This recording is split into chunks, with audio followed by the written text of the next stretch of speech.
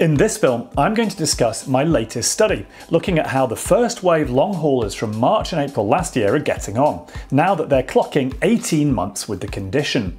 And importantly, just how many have recovered. And if so, what's their secret?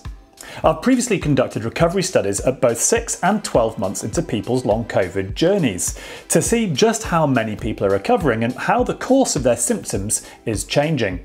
I've actually been pretty shocked by the results of this study and the impact of long COVID on this cohort's health. Stick around and let's go through it.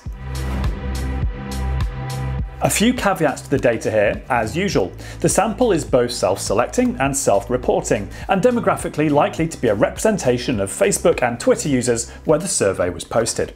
The biggest flaw with this study is that it's hard to put it in front of those who have fully recovered.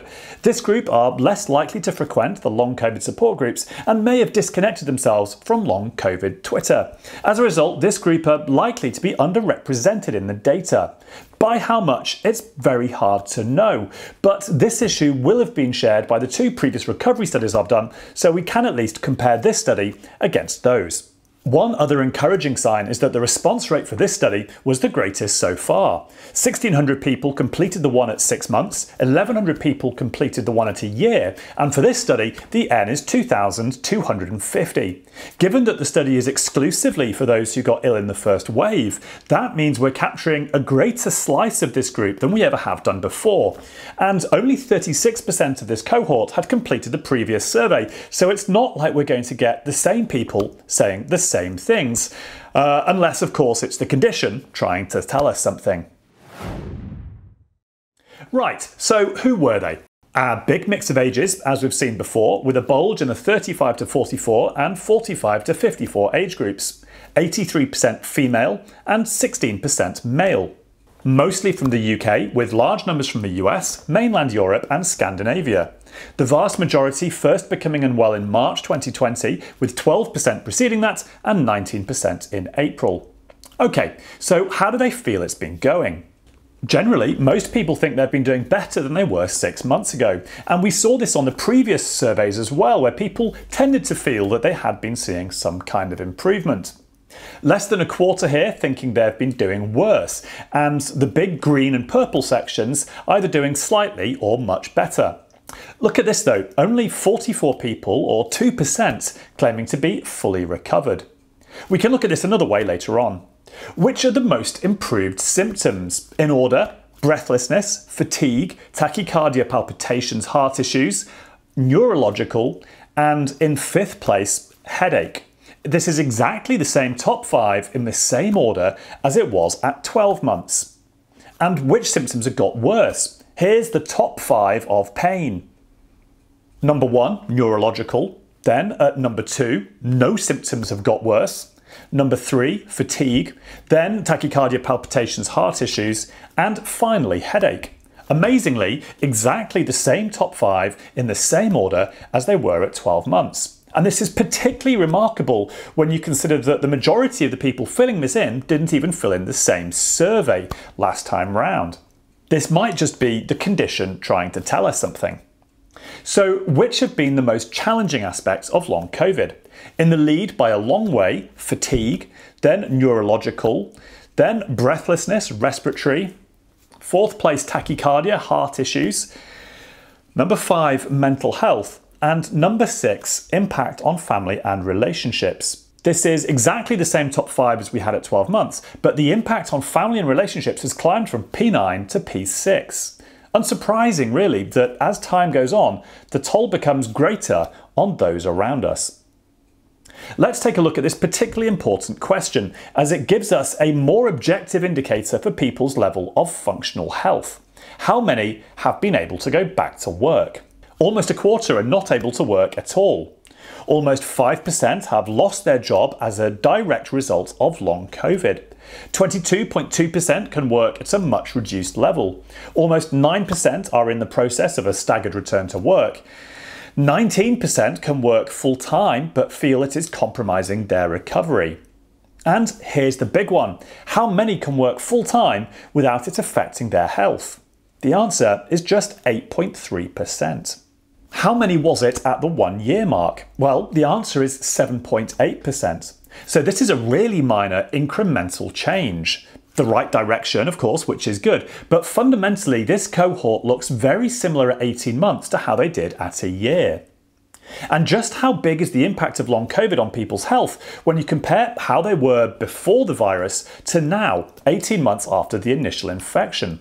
These are the results that shocked me the most.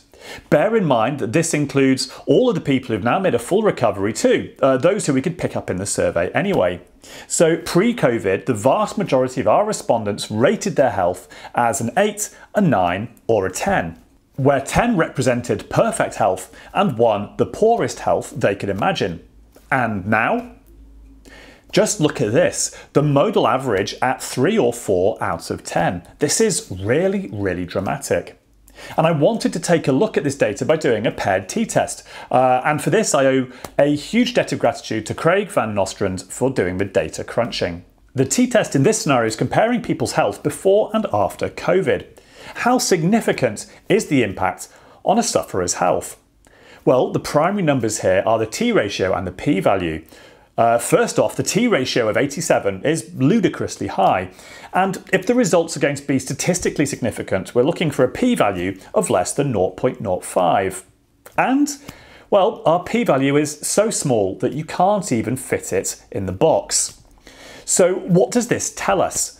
Well, nothing we didn't really know in our bones already, but the negative impact of long COVID on our state of health is statistically off the charts, slam dunk disastrous. Now, to make us feel a bit better, let's look at those who have recovered. The months between 12 and 18 do appear to be better than those from 0 to 6 and 6 to 12, which bodes well for those who got ill in the second and third waves. However, given that we had 217 responses to this question and only 44 people previously saying they'd fully recovered, I think some people are treating this question as when they turned a corner, perhaps, uh, rather than now being fully recovered. And so now let's get into the subjective part of it. Did those who have recovered feel they made a change that catalysed it? Amazingly, we've now got 350 responses. So filling in this survey obviously had a positive impact on people's perceptions of their health between the point when they answered question 2 and question 10. I suspect again we're seeing people wanting to share things that they think have helped. Especially because by the next question we've got 460 people recovered, 20% of the total. So not quite sure what to make of this, but anyway, what did these recovered or temporarily recovered people think had made the biggest difference? Number one, time. Two, pacing. Three, supplements. Four, diet management. Five, interestingly this one, uh, increasing exercise whilst remaining inside their energy budget. And then we have medication and alternative therapies.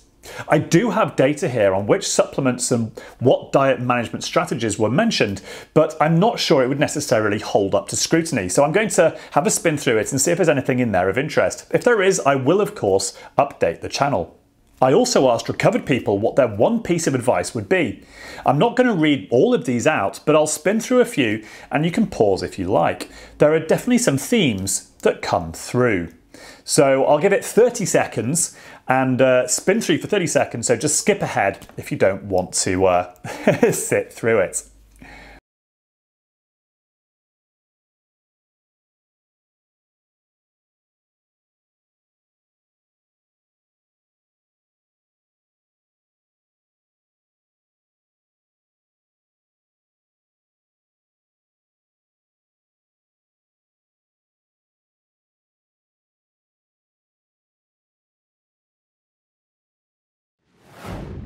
So, what are we to make of this? There are most definitely people getting better, but we don't seem to be looking at the same recovery profile of other kinds of post-viral fatigue, like that from EBV, uh, that's uh, mono or glandular fever, depending on where you're based, uh, for example. So other forms of PVFS seem to largely resolve by 12 months, and that's not the case here.